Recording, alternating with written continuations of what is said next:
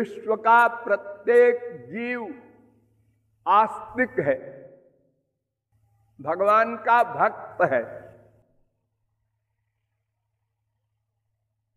प्रत्येक जीव मनुष्य ही नहीं, पशु, पक्षी, कीट, पतंग, संपूर्ण चराचर विश्व आस्तिक है। भगवान का भक्त है और निरंतर भक्त है। जो महापुरुषों का लक्षण लिखा है शास्त्रों में, न चलत भगवत पदार बिंदालव निमिषार्धमपि यस्त वैष्णवाग्रह जिसके मन का अटैचमेंट भगवान के प्रति नित्य हो, एक बटे सौ सेकंड को भी भगवान से पृथक ना हो, वो भक्त कहलाता है। तो इस प्रकार की परिभाषा से युक्त सभी जीव भगवान के भक्त हैं। आप चौंकेंगे कि सभी जीव की बात आप करते हैं, भला पशु पक्षी कीट पतंग क्या समझेंगे, भगवान क्या बलाए है? मनुष्य ही कितने मिलेंगे आपको छह अरब आदमियों में जो आस्तिक हो? हाँ आपका सोचना साधारण बुद्धि से ठीक है, क्योंकि हम संसार में देखते भी हैं, कोई मर जाता है तो हमारे देश का नारा है, राम नाम सत्य है, सत्य बोले गत्य है। ऐसा करके हम लोग चलते हैं लाश को लेकर। लेकिन जब जला देते हैं लाश को और लौटने लगते हैं, तब नहीं बोलते राम नाम सत्य है। क्यों? छोड़िए अगर मान लीजिए आप किसी मुर्दे को लेकर जा रहे हो और रास्ते में वो उठ के बैठ जाए, जीवित हो जाए, यानी वो जीवित था, अनजाने में घर वालों ने समझा मर गया है। और होश में आ गया और उसने कहा, आप लोग कहाँ ले जा रहे हैं हमको? तो सबने रख दिया अर्थी अब बड़ी खुशी में नाचने लगे, आए। अब राम नाम सत्य नहीं बोलना। क्यों? अरे, अब तो ये सत्य है, राम नाम सत्य नहीं है। ये हम राम नाम की महिमा समझते हैं भीतर से। यानी, अगर किसी ज़िंदा व्यक्ति के लिए हम बोल दे राम नाम सत्य है तो असगुण है। अमंगल है, वो मर जाएगा कोई घर में। ऐसा बोलना नहीं। और आप कहते हैं कि विश्व का प्रत्येक जीव आस्तिक है। हाँ हम ठीक बोलते हैं। किसी व्यक्ति से पूछो, एक छोटे से बच्चे से पूछो, तुम क्या चाहते हो? मैं मैं चाहता हूँ परीक्षा में पास हो जाऊँ। हाँ, क्यों? इसलिए कि उसके अगली कक्षा में चला जाऊँ। हम्म क्यों? इसलिए कि ऐसे ही अगली कक्षा में जाते जाते एक दिन एम हो जाऊँ पीएचडी हो जाऊँ डिलीट हो जाऊँ। अच्छा अच्छा। क्यों? इसलिए कि अच्छी सर्विस मिले। अच्छा क्यों? इसलिए कि पे मिले अच्छी, खूब रुपया मिले। अच्छा क्यों? इसलिए कि रुपए से सब सामान हमारे सुख का मिलेगा। किसका मिलेगा? सुख का। सब प्रकार के सामान हमको मिलेंगे इंद्रियों के विषय भोग के।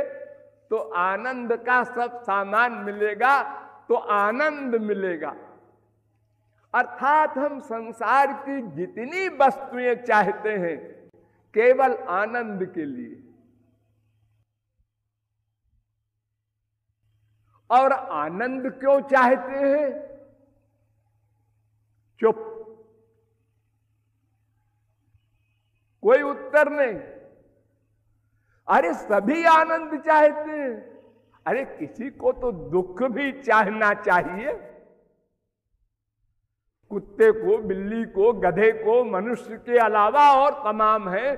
कोई तो इस सिद्धांत का बने कि हमको दुख चाहिए, आनंद नहीं चाहिए, अशांति चाहिए, टेंशन चाहिए। ऐसा कोई नहीं। यानी संपूर्ण विश्व का प्रत्येक व्यक्ति केवल एक चीज़ चाहता है, आनंद।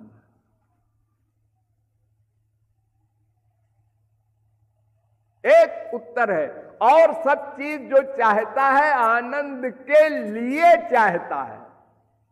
एम है आनंद, लक्ष्य है आनंद, और सब साधन सामग्री है। अब किसी को किसी से आनंद मिलने की कामना है, किसी को किसी से, लेकिन केवल आनंद का एम है सबका। ऐसा क्यों है?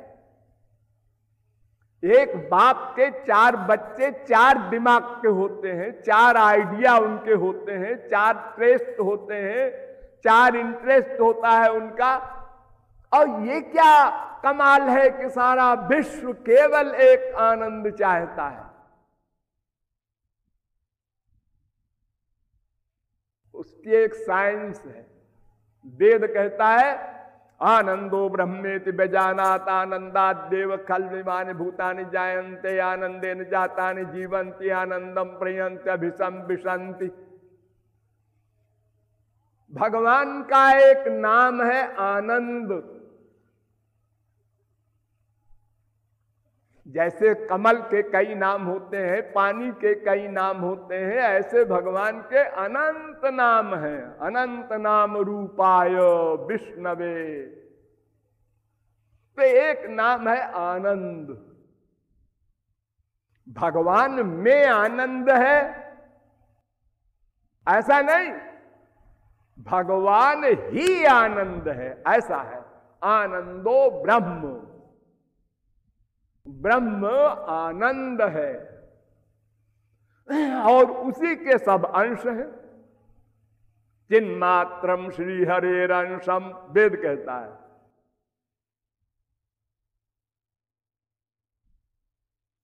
ममई वांशो जीवलोके जीवभूत सनातन गीता कहती है।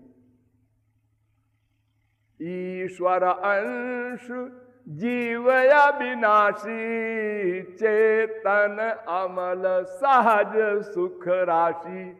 सब शास्त्र वेद पुराण कहते हैं ये जीवात्मा, माने हम सब लोग भगवान के अंश हैं। तो भगवान के अंश, ये कहने में कम समझ में आएगा, हम आनंद के अंश हैं। क्योंकि पर्यायवाची है, आनंद शब्द। हम आनंद के अंश हैं। तो तो प्रत्येक अंश अपने अंशी को चाहता है और उसी से प्यार करता है। मान लीजिए हमारे हाथ में मिट्टी का ढेला है। ये मिट्टी का ढेला किसका अंश है? पृथ्वी का। तो ये मिट्टी का ढेला पृथ्वी से ही प्यार करता है। क्यों जी? ये तो पृथ्वी से अलग है। इसलिए अलग है कि हमारे हाथ ने पकड़ रखा है।